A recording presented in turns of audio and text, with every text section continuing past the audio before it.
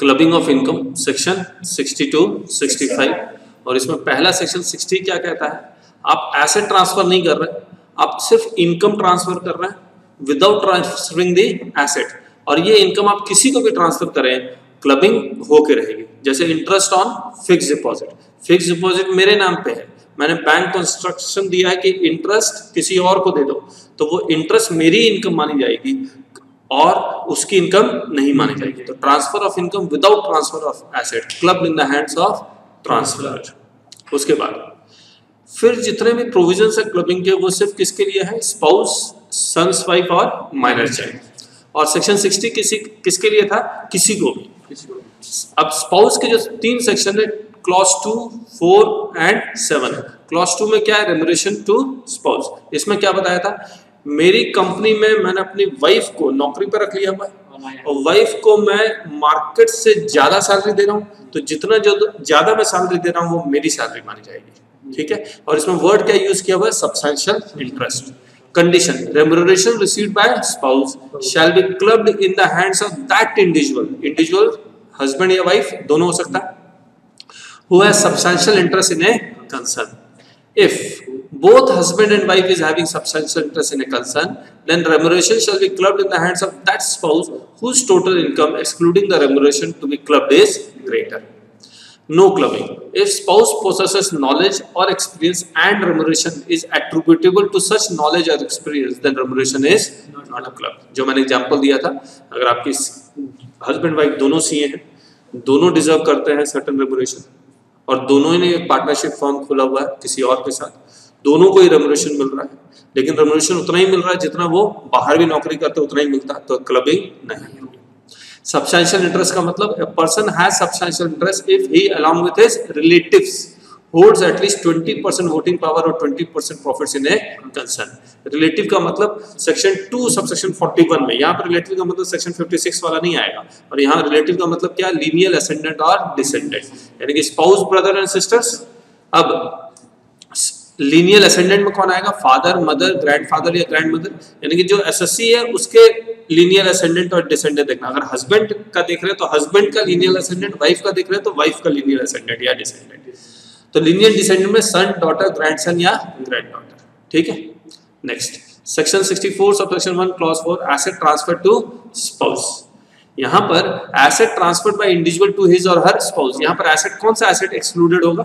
House property क्योंकि house property में कौन सा आएगा? डीम्ड होने का कॉन्सेप्ट लग जा रहा है। क्यों ट्रांसफ़र कर रहा है? Without adequate consideration then income arising to spouse from the transferred asset shall be clubbed in the hands of transferor यहाँ पे यहाँ पर एसेट किसको ट्रांसफ़र करेगा? स्पाउस को. इनकम किसको अक्रू होगी? स्पाउस को. यानी कि relationship of husband and wife should subsist both at the time of the transfer of the asset and both at the time when income accrues जो हमने यहाँ लिखा हुआ है एप्लीकेबल में। Clubbing provision shall be applicable only when marriage subsists both at the time of transfer of the asset and at the time when income arises. ठीक है? फिर क्लॉज सेवन में asset transfer for the benefit of spouse तो asset transfer by individual to any person और AOP without adequate consultation then income arising to spouse from the transferred asset shall be club in the hands of transfer to the extent the benefit arises to spouse example क्या लिया था मैंने? मैंने asset किसी trust को transfer कर दिया।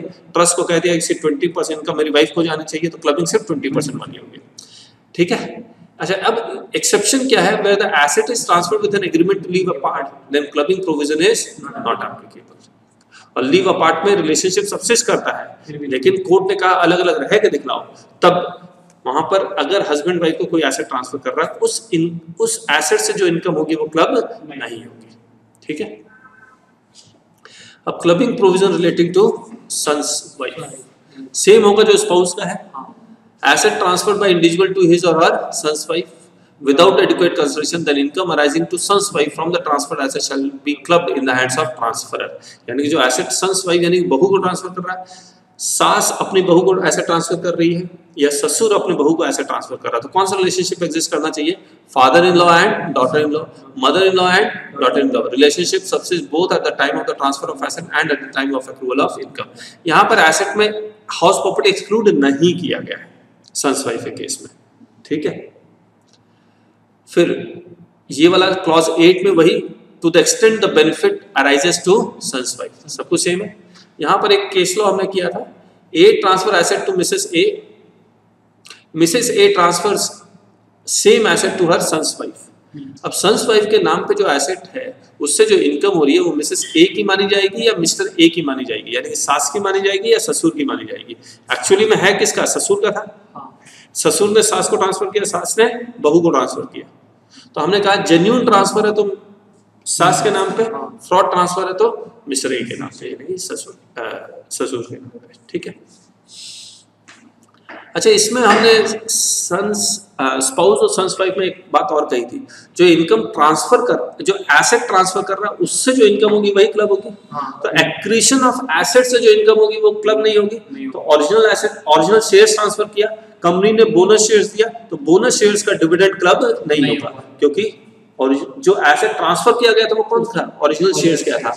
और बोनस शेयर्स स्पाउस ने नहीं दिया किसने दिया? कंपनी ने फिर एक बताया था income from income shall not be club income from income shall not be club मैंने आपको फिक्स डिपॉजिट ट्रांसफ़र किया उससे इंटरेस्ट आया। उस इंटरेस्ट से आपने शेयर्स खरीद लिए। शेयर से मिला डिविडेंड तो ये क्या हो गया? ये डिविडेंड इनकम फ्रॉम इनकम है ये क्लब नहीं होगा। समझ में आ गया? Okay clubbing provision relating to minor child यहाँ पर लिखा हुआ all income accruing to minor child shall be club अब यहाँ पर ऑल इनकम का मतलब इनकम फ्रॉम इनकम भी क्लब होगी income from acquisition of asset भी क्लब होगा। और किसके हैंड में क्लब होगा? ट्रांसफरर के हैंड में या पेरेंट के हैंड में? जब भी क्लब होगा पेरेंट के हैंड में होगा, जिसकी इनकम ज़्यादा होगी। Shall be clubbed in the hands of that parent whose total income excluding the income of the minor child is greater. ठीक है? लेकिन अगर मैरिज सबसिस्ट नहीं करता है तो जो माइनर चाइल्ड जिस रिलेवेंट प्रीवियस में मेंटेन कर रहा है जो पेरेंट मेंटेन कर रहा है उसके हैंड में क्लब होगी। Where the marriage of the parent do not subsist the income of the minor child shall be clubbed in the hands of that parent who maintains the minor child in the relevant previous year Second, if once the income is included in the hands of father or mother, it shall be continued to be clubbed in the same hand unless the AO do और मैंने इसकी reasoning बताई थी कैसे change होगा.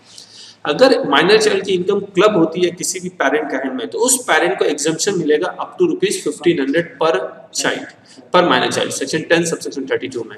Exemption to that parent in whose hands income is club अगर minor child majority attain कर लेता है तो जब तक वो माइनर है, जिस मान लो एक अक्टूबर का, एक अक्टूबर को उसकी उम्र 18 साल हो जाती है तो एक अक्टूबर से पहले तक की इनकम क्लब होगी, उसके बाद की इनकम इसी के हैंड में टैक्सेबल होगी।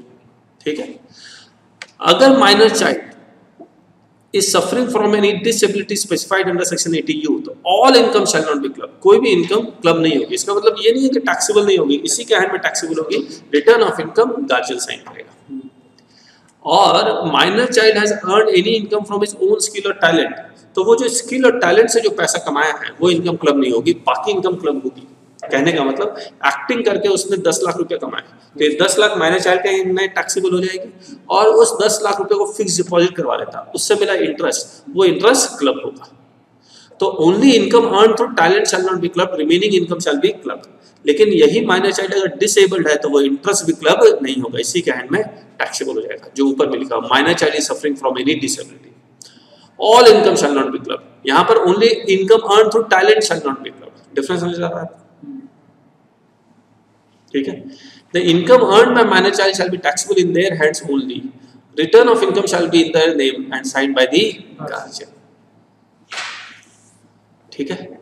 अब other points income from transferred asset is to be club spouse और सन्स वाइफ और minor child correct correct income from income can not be club son spouse और सन्स वाइफ में correct लेकिन minor child में भी clubbing हो के रहेगी all income accruing to minor child shall be clubbed income from acquisition of asset cannot be club correct यहाँ all income of minor child all income is club no only income from the transferred asset is club और यहाँ पर yes all income is आया।